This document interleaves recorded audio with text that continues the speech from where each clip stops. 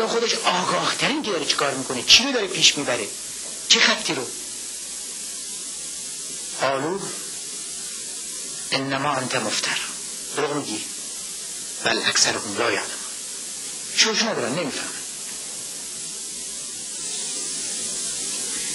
خصیصه ویژه قرآن و خصیصه ویژه اسلام چیه؟ از خودمون نمیگیم. از خود قرآن سوره زمر. افمن شرح الله صدره للاسلام و هو علی نور من ربه؟ آیا کسی که خدا سینش رو باز کرده برای اسلام. و اون برای یک نور و برای یک هدایتی از جانب پروردگارش. آیا متساوی با کسی که قلبش سینش بسته منجمده خشکه فویل للغاسیت قلوبهم من ذکر الله. و وای بر سنگ دلان و سنگین دلان و اونایی که قلبشان قسیست از ذکر خدا و یاد خدا و آرمانها و ارزش های خدایی رو مردم. عقل می‌خوره به همین دار دسته خوبی. اولئک فی زلال مبین. در گمراهی آشکار. این ابتدای آیه اول. آیه 22 مقایسه می‌خواد بکنه که بین یک سینه گشاده چشمانداز روشن فهم عمیق از اسلام و اون نور هدایت کنندش در برابر سنگین دلان. در مقابل اهل قصاوت.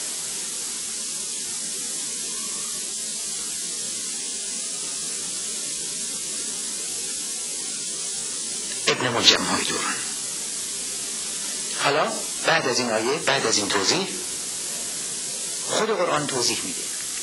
الله نزل احسن الحدیث. خدا بهترین گفتار رو بهترین کتاب رو بهترین تبیین و تشریح رو بهترین احسن بهترین رو عرضه کرده. احسن الحدیث اگر حرف بی خودی نیست ببینیم که چرا احسن الحدیث دلیل اینکه بهترینه چیه؟ کتابا متشابها مسانی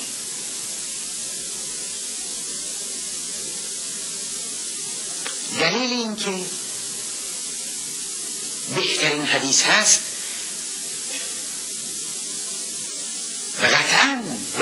دلیل پایدارترین و پویاترین حدیث کتابا متشابها مسانی تشابه.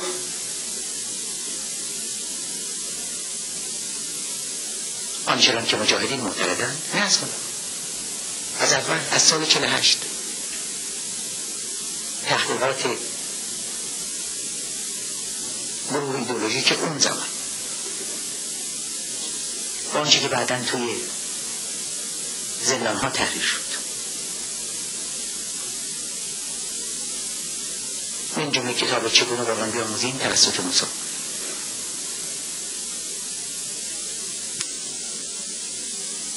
تشابه به زبان امروزی ما یعنی دینامیزم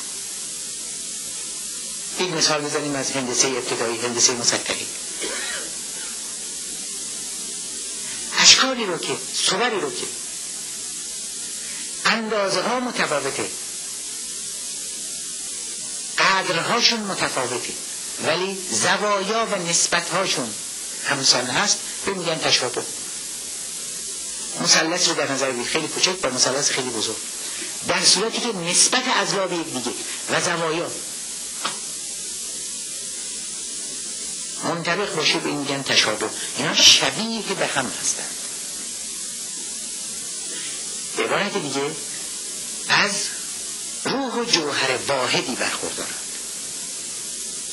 پس مهم این است که این روح و جوهر این احکام هدفی که تعقیب می‌کنه. چی هست؟ نه به صورت دمدمی مزاج و فرصت طلبانه. رسوخ در علم اونچنان که قرآن میگه. کتابا متشابه.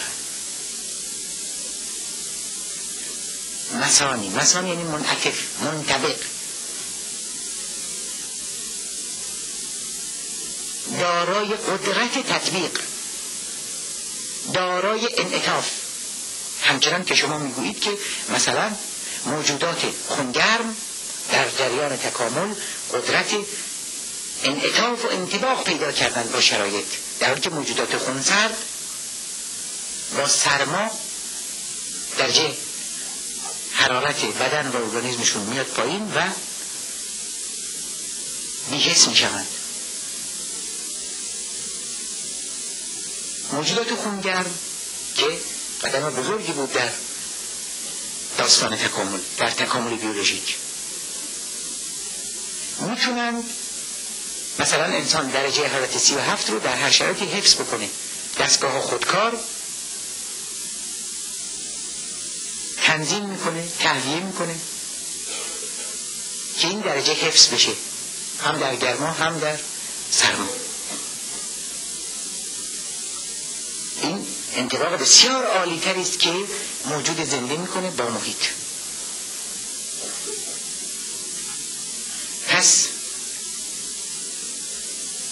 این احسن الحدیث خصلت ویژش این است که قدرت انتباق با شرایط داره. مسانی و متشابه هم هست. یعنی می‌تونه با جوهر واحد. در شرایط شبیه در شرایط متفاوت جوهر واحدی رو اعمال و پیگیری بکنه. این اون نور و روح واحده. پس خصیصه ویژه احسن الحدیث بهترین کتاب بهترین تبیین بهترین گفتار اینه که با یک اصول ثابت اصلها ثابت و فرعها فی مثل هر پدیده تکاملی دیگر که البته قرآن کلام آخر است می‌تونه جریان پیدا بکنه. به قول امام باقر جریان پیدا قرآن جریان داره همچنان که ماه و خورشید جریان دارند می‌تونه روح جاری دوران باشه در هر دوران.